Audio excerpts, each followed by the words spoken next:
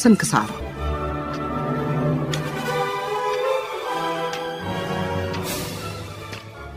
በየጊዜው በየወቅቱ በየስርዓት በየቤቱ ታሪክ አለ፣ ባህል አለ፣ እምነት አለ፣ ሕይወት አለ። ነውንም ነበረንም ለማወቅ በስንክሳር ኅብር ያላቸው ዶኪመንተሪ ዝግጅቶች ይቀርባሉ። ስንክሳር ዘውትር እሁድ በእናንተ ሬዲዮ በሸገር ኤፍኤም 102.1 ስንክሳር።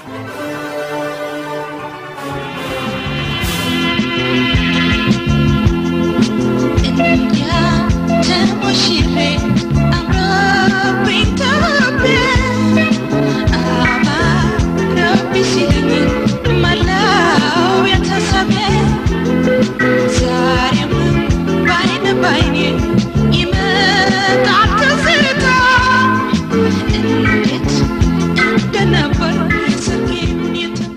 ጠገቡ ሙሽራዬ።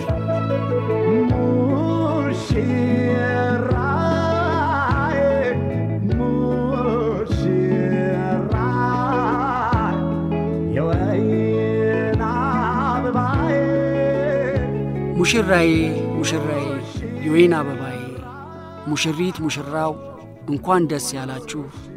የአብርሃም የሳራ ይሁን ጋብቻችሁ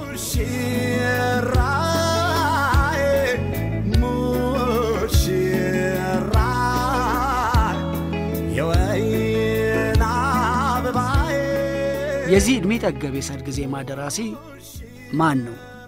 በመጀመሪያ ይህን ዜማ የተጫወተው ድምፃዊስ? የፈልሰፋ አዎ እኔ እንጃ። እኔ ለራሴ የዘፈነልኝ ሰው ነው እዛ ሰፈራችን አሉ እነ ብሩክ የሚባሉ እነሱ ናቸው ለእኔ የዘፈኑልኝ።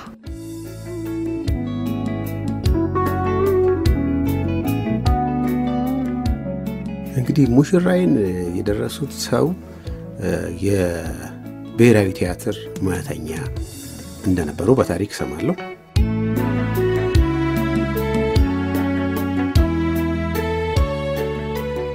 አላቀውም ግን ጸጋዬ እሸቱ ነው እኔ የማስታውሰው።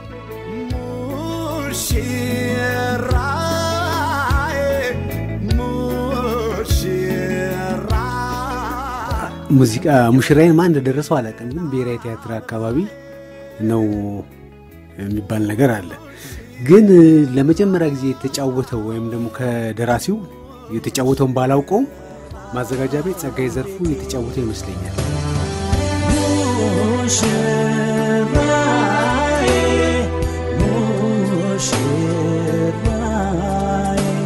እንዲያውም አላቀውም ግን ሙዚቃውን ነው የማውቀው።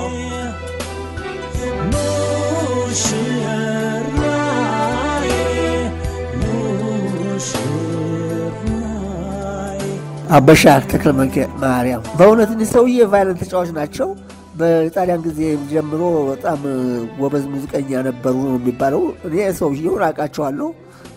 ቫይለን ይጫወቱ ነበረ። ብዙ ኢትዮጵያኖችን አሰባስበው ሙዚቃ ተጫውተዋል።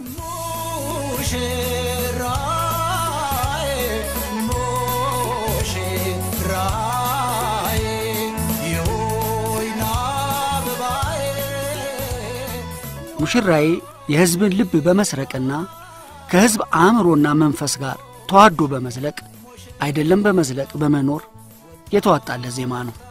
ቅዱስ ዮሐንስ የማይሽረው ብዙ ደመራ የለኮሰ ሁሌ እሸት ሁሌ ጣፋጭና ተወዳጅ ነው ሙሽራዬ።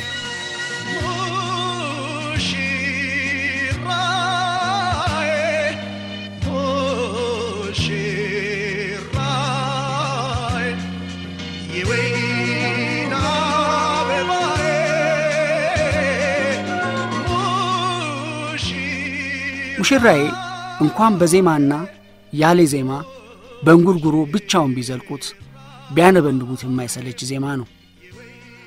ሁሌ የሚታጀቡ የተመረጡ ካልሆኑ በስተቀር በሕይወት ዘመኖ ሁለት ጊዜ በበርካታ ሰዎች ተከበው ይታያሉ።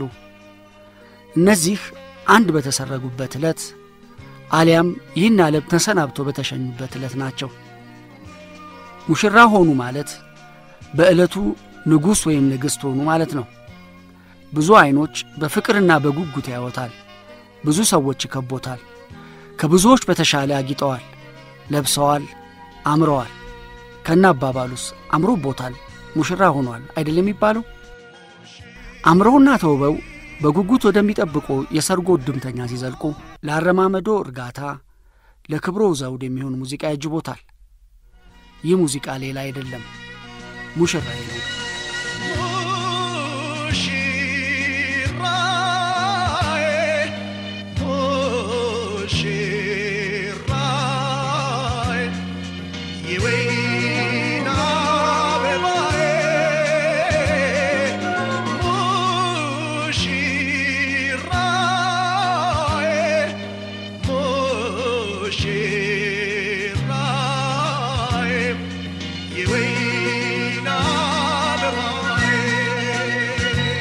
ከረዥም ዓመታት ጀምሮ እስካለንበት ዘመን ድረስ አያሌ ኢትዮጵያውያን ሙሽራዬ በመባል በሚታወቀው የሰርግ ዘፈን ጎጆ ቀልሰዋል።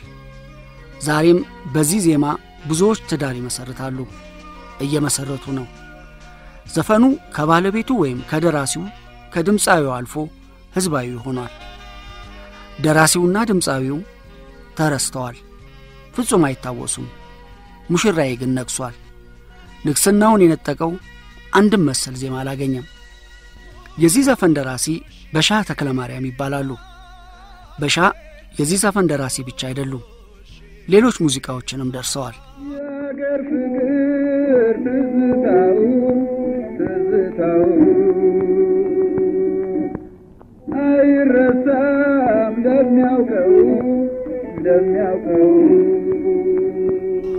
በየሰርጉና በየድግሱ ይሰራባቸው የነበሩትን የሀገራችንን የሙዚቃ መሳሪያዎች በማሰባሰብ በሀገራችን ለመጀመሪያ ጊዜ በዘመናዊ ሁኔታ በኦርኬስትራ መልክ እንዲደራጅ አድርገዋል።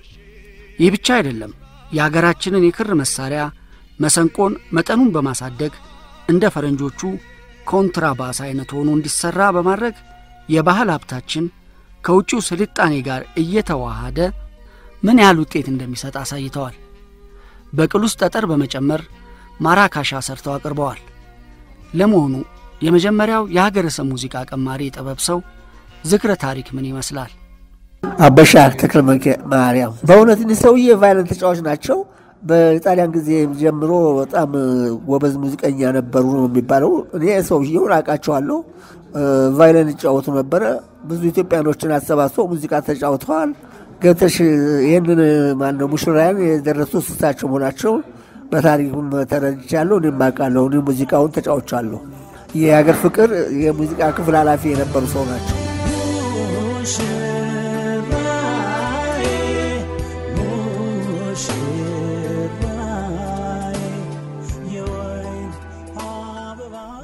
የትውልድ አረጋቸው ከመንዝና ከቡልጋ ከሆኑት ከግራዝማች ተክለ ማርያም አጥናፉና ከወይዘሮ የሾርክ ወልደ ጻዲቅ በ1912 ዓ ም በወርሃ መጋቢት በባሌ ክፍለ አገር ጎባ ከተማ ተወለዱ። በአራት ዓመት ዕድሜያቸው ወደ አዲስ አበባ መጥተው በቅዱስ ማርቆስ ቤተ ክርስቲያን የቤተ ክህነት ትምህርት ጀመሩ። የቤተ ክህነት ትምህርቱን በሚገባ ሳይጨርሱ በስምንት ዓመታቸው በመጀመሪያ በዳግማዊ ምኒልክ ትምህርት ቤት ቀጥሎም በተፈሪ መኮንን ትምህርት ቤት ዘመናዊ ትምህርት ገብተዋል። በዳግማዊ ምኒልክ ትምህርት ቤት ሳሉ ጋሪኮይስ የተባለ ፈረንሳዊ የተለያዩ ድራማዎችን ያዘጋጅ በነበረበት ጊዜ በድምፀ ሸጋነታቸው ተመርጠው በተዋናይነት ሰርተዋል። በኋላም የአማርኛ መምህራቸው በነበሩት ዮፍታሔ ንጉሴ ተውኔቶች ውስጥም ተጫውተዋል። በሻህ ኪቮርክ ናልባንዲያን በተባሉ አርመናዊ የሙዚቃ መምህር አማካኝነት ቫዮሊንንና ፒያኖን መጫወት ችለዋል። በ1927 ዓ ም አካባቢ የገነት ጦር ትምህርት ቤት ሲቋቋም ከተመለመሉት 300 ወጣቶች መካከል አንዱ ነበሩ። በሁለታ ማሰልጠኛ ጣቢያ ቆይታቸው ከሞግዚታቸው ጋር ስምምነት በማጣታቸው ትምህርታቸውን አቋረጡ። አዲስ አበባ በመመለስ የሬዲዮ ኦፊሲያ መካኒክ የመካኒክ ሹም ትምህርት በመከታተል ላይ ሳሉ ጠላት አገራችንን ስለወረረ እንደገና ትምህርታቸውን ለማቆም ተገደዱ። በጦርነቱ ወቅት ከፍተኛ እስርና እንግልት ደርሶባቸው ነበር።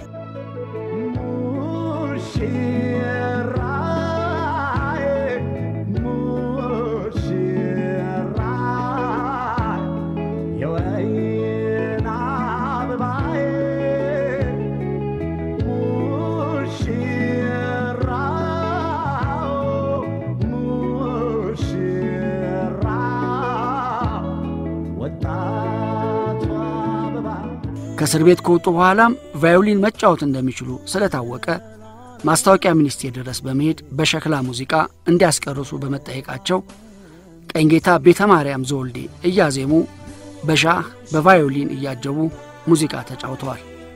ሙዚቃም አስቀርጸዋል። ጣሊያን ከሀገራችን እንደወጣም ትምህርትና ስነ ጥበብ ሚኒስቴር ውስጥ ሥራ ጀመሩ። ሥራቸውም የሀገራችንን የዜማ ምልክቶች ከቤተ ክህነት ሊቃውንቶች ጋር ሐሳብ በመለዋወጥ ከዓለም አቀፍ የሙዚቃ ምልክቶች ወይም ኖታ ጋር ለማገናዘብና ሊሰራባቸው ይችል እንደሆነ ጥናት ማድረግና መሞከር ነበር። ሆኖም ይህ ጥናት ፍሬ ሳያሳይ በውጥን ላይ እንዳለ በአቶ መኮንን ሀብተ ወልድ አማካኝነት ወደ አገር ፍቅር መጡ። በአገር ፍቅር በርካታ ሥራዎችንም ከወኑ። ሙሽራዬን በሻ ቢደርሱትም በያሬዳዊ ዜማ አሳምሮ የተጫወተው ፍቅረ ማርያም አየለ የተባለ ድምፃዊ ነው። ፍቅረ ማርያም የቀዳማዊ ኃይለ ሥላሴ ቲያትር ድምፃዊ ሲሆን በወቅቱ እጅግ የተወደደና በንጉሡ ምስጋና የተቸረው ነበር። አርቲስት መራዊ ስጦት ፍቅሬ ማርያም አየለ ነው ስሙ። የቀዳማዊ ሥላሴ ቲያትር አርቲስት የታወቀ አርቲስት ነው። ይህ ሰውዬ በጣም ያሳዝናል።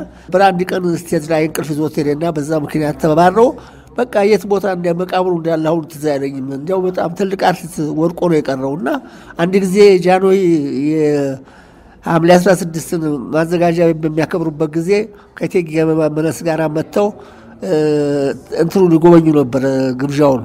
እኛ ደግሞ እንጫወት ነበረ። ምንድን ነው የምንጫወት የነበረው? ይኸው ፍቅረ አየለ ነው የምጫወተው።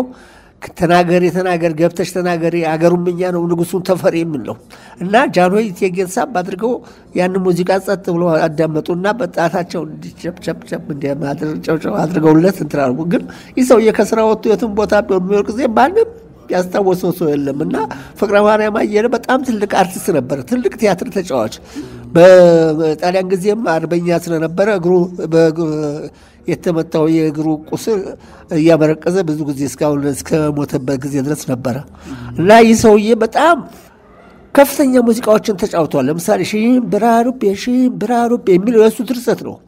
አንቺው በጮራ አንቺው በጮራ መልክሽ ደም ግባትሽ ያለም ሁሉ አበራ የሚል ዜማም ነበረው እና ሙናዬ ሙናዬ የሚለው እሱ ነው። ብዙ ዜማዎች አሉት። ማንም ሰዋችን እየገነጠለ አሁን የራሳቸው አድርገው ይጠቀሙበታል እና ፍቅረ ማርያም አየለ በዛ በኛ በጃንሆይ ዘመን ብዙዎቹ አርቲስቶች ሳይጠቀሙ የትም ወርቀው ነው የቀሩት እና ትልቅ አርቲስት ነው።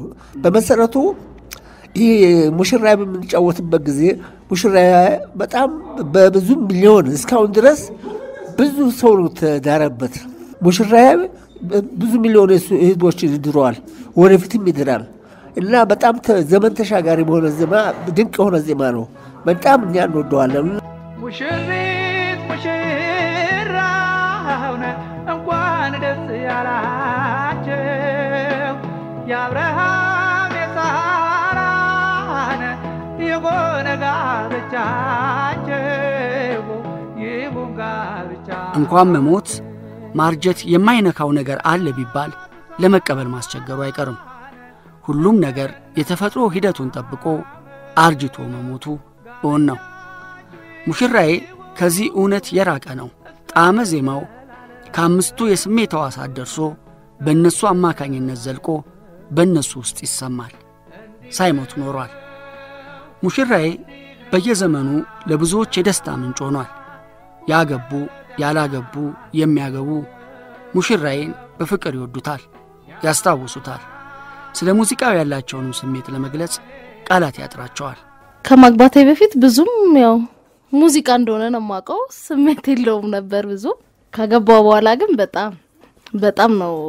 አዎ አሪፍ ነገር ነው። ስሰማው በጣም ደስ ይለኛል። እንዴት ብዬ ልግለጽል? በጣም በቃ ግጥሙ ምኑም ሁሉም ነገር በጣም ይታወቀኛል። በፊት ግን just በቃ እንደ ሙዚቃ ነው ልጨፍርበት እችላለሁ፣ እንደዛ እንደዛ። ከዛ በኋላ ግን በጣም በጣም memory በጣም ወደ ኋላ እንድትመለስ ያደርግሃል። በቃ የሰርግህን ቀን ነው የሚያስታውስህ። በጣም አሪፍ ስሜት አለው።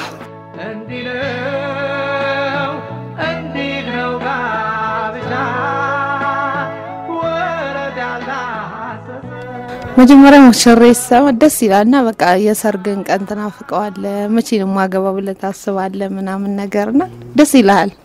እና ያን ደግሞ ሆኖ በዛ ሰዓት ስታገኘው ደግሞ የበለጠ በቃ እንጃ ቃላት የለኝም። በጣም ነው ደስ የሚለው።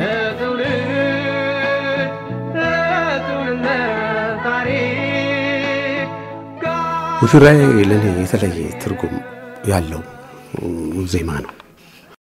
እንዴት ብትል በመሰረቱ ሽርነት አንድ ሰው ከአንድ የህይወት ምዕራፍ ወደ ሌላ የህይወት ምዕራፍ የሚሸጋገርበት ሂደት ነው እና የዚህ ሂደት አብሳሪ ነው ሙሽራዬ የተሰኘው ዜማ እና ለእኔ በጣም የተለየ የተለየ ከልብ የማይጠፋ ምንጊዜም ሕያው የሆነ ዘመን ተሻጋሪ ዜማ እንደሆነ አድርጌ ነው የምወስደው። እንዴት ብትል ሁሌ እኔ በሙያዬ ሰርግ በምሰራበት ጊዜ ማለት ነው እና ሙሽራዬ እያልኩ እነዚያን አዲስ ተጋቢዎች ወይም ዘፋኙ ሙሽራዬ እያለ እኔ ደግሞ ከኋላ ሳክስፎን እየተጫወትኩ ሙሽራዬ እያልን ሙሽሮቹ ሲገቡ ሙሽሮቹ ፊት ላይ የምታነበው ደስታ፣ እናትና አባት ላይ የምታየው ደስታ፣ ቤተሰብ ላይ የምታየው ልዩ የሆነ ፍካት፣ ታዳሚ ላይ የምታዳምጠው እልልታ፣ እነዚህ እነዚህ ሁሉ ተዳምረው እኔ ሁሌ ያገባሁ እንደሚመስለኝ ታውቃለህ። እኔ ሙሽራዬ ተብሎልኝ ባላገባም እንኳ ሁሌ ሙሽሮችን በዳርኩ ቁጥር ደስታዬ ከነሱ እኩል ነው። ያን ደስታ የፈጠረው ደግሞ ያ ዜማ እንደሆነ በእርግጠኝነት መናገር እችላለሁ። ይሄን ያህል ነው የሚሰማኝ እኔ ሙሽራዬ። ሙሽሪት ሙሽራውን እንኳን ደስ ያላቸው የአብርሃም የሳራን የሆነ ጋብቻቸው ከሰርጌ በፊት በቃ ልብህን ልዩ ያደርገዋል ማለት ደስ የሚል ስሜት ይሰማል ከሰርግ በፊት። ከዛን ጊዜ ደግሞ ላገባ ስል ደግሞ እነዛ ልጆች ተሰብስበው የሰፈር ልጆች ናቸው ተሰብስበው ማታ ማታ ሙሽራዬ በቃ አስማ በጣም ነው እንጃ በጣም ይሰማሃል። አልቅስ አልቅስም ይልሃል። በጣም ነው ደስ የሚለው በጣም ከሰርግ በኋላ ደግሞ ይሄ የማረፍ እፎይ ብለህ የምትሰማው የምታደርገው ሁሉ ነገር ይታያል። የአንተ ሰርግ የነበረ ጊዜ ትዝ ነው የሚል ሁሉ ነገር ይታያል። አሁን አሁን እንኳን ስሜቱ አለ ስሜቱ አለ፣ ግን ይሄን ስሜት ለልጄ ባደረግኩት ደግሞ አሁን ብዬ ለእሷ ነው የምመኘው።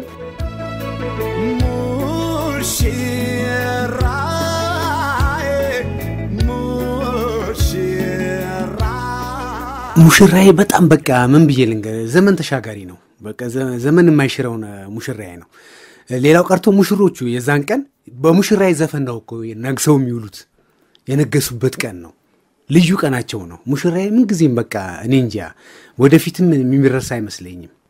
ዜማው ራሱ መልእክቱ ራሱ መልእክቱን ራሱ እኮ በምናብ እያየኸው ነው። የመልእክቱ ጠንካራነት ነው እንዲዘልቅ ያደረገው ይመስለኛል።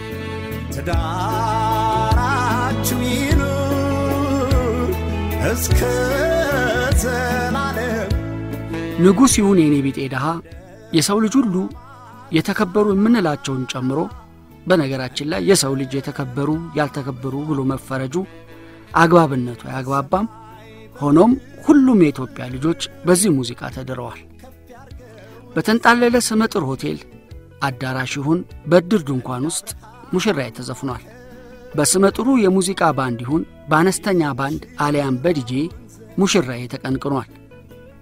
አነስ ባለች በቤት ውስጥ ፍጥምጥም ይሁን በመናፈሻ ስፍራ አለበለዚያም በታወቀ የመዳሪያ ስፍራ ሙሽራዬ ሙሽራ ድሯል። በድምፀ መልካም ድምፃዊ ይሁን ሞካሪ ወይም ለስሜቱ አንጎራጓሪ አሊያም ድምፃዊ መሳይ ድምፅ የለሽ ሁሉም ሙሽራዬ ብለዋል። መቃብርና ሙሽራዬ ዜማ ለሁሉም እኩል ነው። ስለ ዜማው በከተማችን ከሚንቀሳቀሱ የሰርግ ሙዚቃ ተጫዋቾች ውስጥ አንድ ሁለቱን ለማግኘት ሙከራ አድርጌ ነበር። ብዙ ባለሙያዎች በሰጡኝ ጥቆማ መሠረት ታምክራሳ ለተሰኘ የሙዚቃ ባንድ ስልክ መታሁ። አቶ ታምሩ ንጉሴን አገኘሁ። ለምን እንደፈለግኳቸው ገልጬ ቀጠሮ ጠየቅኩ። በጥር ብዙ የሰርግ መርሃ ግብሮች ስላሉን ልምምድ ላይ ነን፣ ዳኒ ቤላ ስቱዲዮ ታገኘኛለህ ሲሉ መልስ ሰጡኝ። በዚህ ዘመን ተለማምዶ ሰርግ የሚሠራ ባንድ በመገኘቱ ደስታ ተሰማኝ። አርቲስት ታምሩ ንጉሴ ድምፃዊ፣ ክራር፣ ዋሽንት፣ ሳክስፎን ተጫዋችና በ60 ዓመታት ዕድሜያቸው ውስጥ በርካታውን ለሙያ ያበረከቱ ናቸው። በቅኝት ደረጃ እንኳ ቅኝቱን አልለወጠም። ያው ነው፣ ትዝታ ላይ ነው የሚሰራው። በየጊዜው ከቴክኖሎጂው ጋር መሻሻልም በለው አለመሻሻልም በለው የተወሰኑ ለውጦች ሲመጡ ታያለህ። እንግዲህ አሁን አጫዋወት ስልቱ ላይ ለምሳሌ የዛን ጊዜ እንዳልከው ያሬዳዊ almost ወደ መንፈሳዊነት የሚሄድ መንፈስ ነበረው። መንፈሳዊ የሆነ ነገር ነበረው።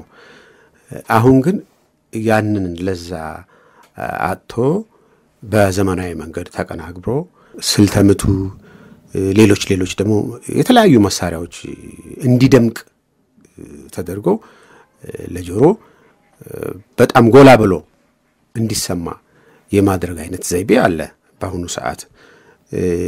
እኔ እዚህ ላይ ሙሽራዬም ብቻ አይደለም በንጹህ መንፈሳዊ የነበሩ መዝሙሮችም ለምሳሌ ዘለዓለም የሚለው መዝሙር ንጹህ መንፈሳዊ መዝሙር ነው። ፒውርሊ የቤተ ክርስቲያን አይነት ይዘት ያለው ነው። አሁን ግን ልክ ከሙሽራዬ ቀጥሎ በዘመናዊ መሳሪያ ታጅቦ ሲሰራ ታያለህ። እዚህ ላይ እንኳ ያ ይገባል የማትለው ነገር ተሰርቶ ነው። ዘለዓለም የሚለውን መዝሙር አሁን እመቤቴ ማርያም እመቤቴ ሆይ ይህንን ጋብቻ ባርኪልን ነይ ነይ፣ ያ በመንፈሳዊ ነገር ነው። በመንፈሳዊ መሳሪያው በሚፈቅደው በበገና፣ በክራሩ፣ በዋሽንቱ፣ በከበሮ፣ በጸናጽሉ መሰራት የነበረበት ነገር ሰርግ ላይ ግን እንደዛ ሆኖ ታየዋለህ። የዛም የዚህም የሙሽራይም ነገር አካሄዱ በእርግጥ ቫዮሊን ዘመናዊ መሳሪያ ነው መጀመሪያ የተሰራበትም እንዳልከው ግን የዜማው አካሄድ ወደ መንፈሳዊ ቀረብ ያለ ነበረ። አሁን ደግሞ already ተቀይሮ በዘመናዊ መሳሪያ ተቀነባብሮ በባህልም ይሰራል። actually ግን አሁን ብዙ ጊዜ የምታየው እነዚህ አሻሻልን ብለው የሰሩትም ጥሩ ጥሩ አድርገው የሰሩት ሙያተኞች አሉ። አሁን የሰርግ ዘፈን በጣም ብዙ ሰው ሰርቶታል። ከዛ ውስጥ በጣም መልካም አድርገው የሰሩት አሉ። ደረጃውንም አውርደው የሰሩት ደግሞ አለ።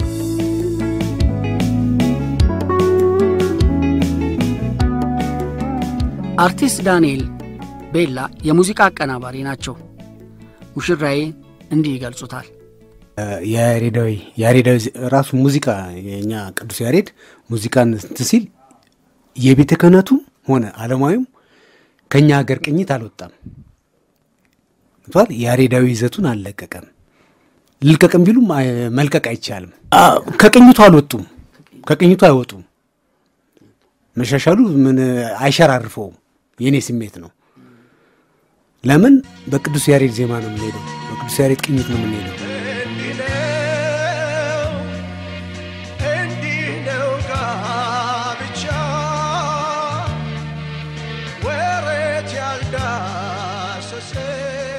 ሙሽራዬና ሰርግ ሲታወስ የሙዚቃ ባንዶችና ድምፃውያን ለሰርግ ያላቸው ከበሬታና ስነ ምግባር አብሮ ይታወሳል። ምን ያህል የሙዚቃ ሰዎች ለሰርግ ሥርዓት አክብሮትና ተገቢነት ይጨነቃሉ? አርቲስት መርሃዊ ስጦት ሙሽራ ደግሞ አንድ ኦርኬስትራ በሚከራይበት ጊዜ ራሱ ለሙሽሮቹ ለሱ ልብስ ብዙ ሺህ ብር አውጥቶ ለኦርኬስትራው ደግሞ ከ20 እስከ 30 ሺህ ብር ከፍሎ ነው የሚከራየው። ነገር ግን ሙሽራው ያንን ሁሉ ድምቀት ደማቅ የሆነ ልብስ ለብሶ እሱን ሊያዳምቅ የመጣ የተከራየ ኦርኬስትራ በ Wrangler ሱሪና በ shirt ወይንም በሸሚዝ ይመጣል። ቁጥራቸውም ሁለት ዘፋኞች ናቸው። አንዱ ዘፋኝ ዋናው ሲዘፍን በሳበጀሽ በሚልበት ጊዜ ሆይ ያለ የሚቀበለው ተቀባይ አልነበረውም። እኛ ለምሳሌ ቀዳማዊ ሥላሴ ቲያትር ብሔራዊ ቲያትር ኦርኬስትራ አምስት ዘፋኞች ነበሩ፣ ሶስት ወንድ፣ ሁለት ሴት። ጠለላ ከበደ፣ ፍቅርተ ደሳለኝ፣ መልካሙ ተወጀ፣ መኮንን በቀለ እና ሌሎችም ብዙ ጎበዝ ጎበዝ የሆኑ ዘፋኞች ነበሩ። እና ፍቅረ ማርያም በሚጫወትበት ጊዜ እነዛ ሁሉ እሱን አጅበው እሳበጀ እሳበጀ እኛ ሎጋ ሳበጅ በምን ተገኘ? በፍለጋ ይህን በጣም በደመቀ ሁኔታ ሊጫወተው ነበረ። እና አንድ የሙሽራ ሙዚቃ ያለ ተቀባይ ድምቀት አይኖረውም። ሁለተኛ ሙሽራውም ራሱ ሙሽራን ህዝብን ጠርቶ በስድስት ሰዓት እስከ ሰባት ሰዓት ብሎ ይጠራል። ህዝብ ይመጣል። በሩ ላይ ቆሞ ቀድሞ ተገኝቶ መቀበል ሲገባው እሱ የሚመጣው ዘጠኝ ሰዓት ነው። ይህ ሁሉ በአሁን ጊዜ ያለ የሙሽራ ዲስፕሊን ተበላሽቷል። በእውነቱ ይህን መስተካከል ያለበት ይመስለኛል። ለምሳሌ አለባበስ በኩል በጣም አስመስሎ መልበስ ይገባ ነበረ። ለምሳሌ የመኮን አልጋ ወራሽ ልጅ እጅጋየሁ አስዋውስን ባገቡ ጊዜ ሉል መኮንን መልስ ጠጥተው ነበረ። በዛች በሳቸው ግቢ ቤት ውስጥ እኛና ክብር ዘበኛ እንጫወት ነበረ እና እኛ ደግሞ የለበስነው ሙሽሮቹን በሚመስል ፍራክ ልብስ ነበር የለበስነው። ነጭ ሸሚዝ፣ ጥቁር ኮት የሚያበራ ክራባት ሙሽሮቹ የለበሱት የእሱ አጃቢዎች ያሉ ሰዎች የለበሱት እና የለበስነው አንድ ነበረ። በዛ ምክንያት ሉል መኮንን ብድግ ብለው እናንተም አሁን ሙሽሮቹ ብፌ በሚያነሱበት ጊዜ እንድታነሱ ብለው አዘዙን። እኛ ፈራን፣ ግን አስገደዱ። ተነስተን ሄድን እና አለባበሳችን አንድ ስለሆነ እኛ እንሁን ተጋባዥ እንሁን ማንም አያውቅም ሰው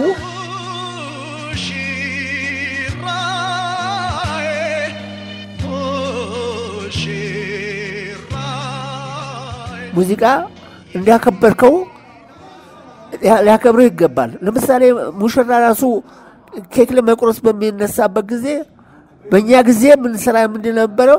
ሙሽራው ይነሳል፣ ሙሽሪት ትነሳለች፣ መድረኳ ላይ ይወጣሉ፣ ኬካቸው ይቀርብላቸው፣ ይቆርጣሉ፣ ሻፓ ይመጣላቸዋል፣ ያችን ይጠጣሉ። አለቀ። ወርደው በአጀቦቻቸው ታጅበው ዳንሱ ይከፍታሉ። አሁን ሙሽራው በሙሉ ያሉትን ሙሽሮች ሲያጎርስ ሴቷን በፈንታዋ እሷም ስታጎርስ እንደገና ደግሞ ብርጭቆ ደረድሩና እንደዚህ ደርድረው ወደ ላይ ፎቶግራፍ ሲያነሱ በጣም ባህሉ ባህሉን የሙሽራን ባህል አበላሽተነዋል። ይህ ነገር መስተካከል ያለበት ይመስለኛል።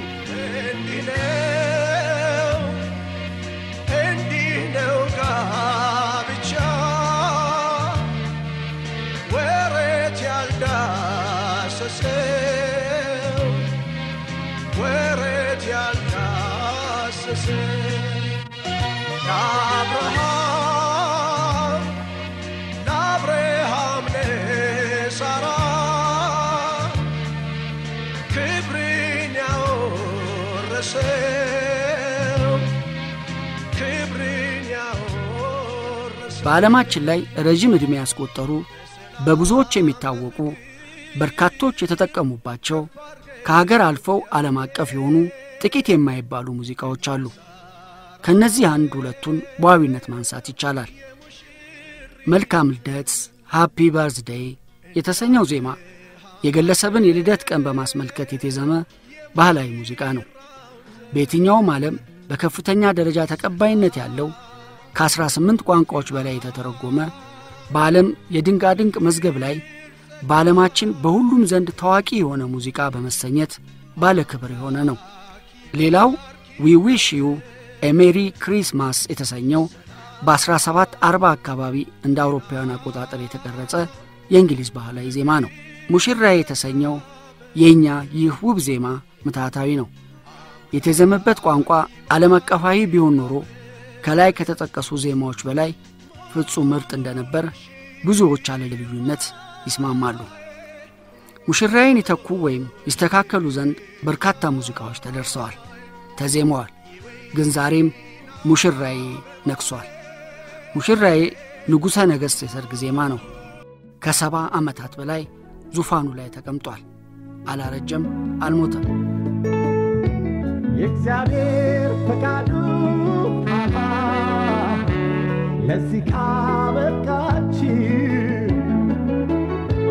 ሙሽሪት ሙሽራው እንኳን ደስ ያላች የዛሬው መሰናዶ በዚህ ሁኔታ ተቀናብሯል። በቅንብሩ ወንጌላዊት ብርሃኑ፣ አዘጋጅቻ ያቀረብኩት መኮንን ወልደ አረጋይ ነበርኩ። ኢትዮጵያ ለዘላለም ትኑር።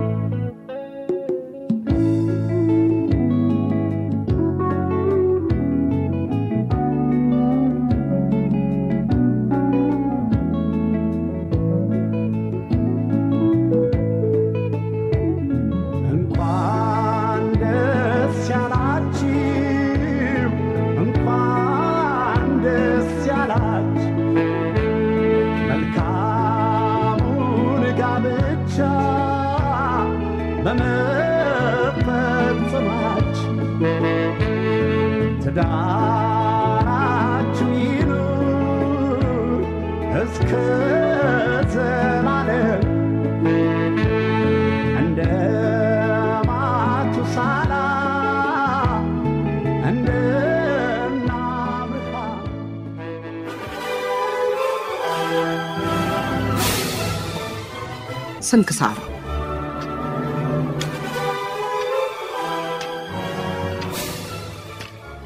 በየጊዜው በየወቅቱ በየስርዓት በየቤቱ ታሪክ አለ፣ ባህል አለ፣ እምነት አለ፣ ሕይወት አለ። ነውንም ነበርንም ለማወቅ በስንክሳር ኅብር ያላቸው ዶኪመንተሪ ዝግጅቶች ይቀርባሉ። ስንክሳር ዘውትር እሁድ ከ6 እስከ 7 ሰዓት በእናንተ ሬዲዮ በሸገር ኤፍኤም 102.1 ስንክሳር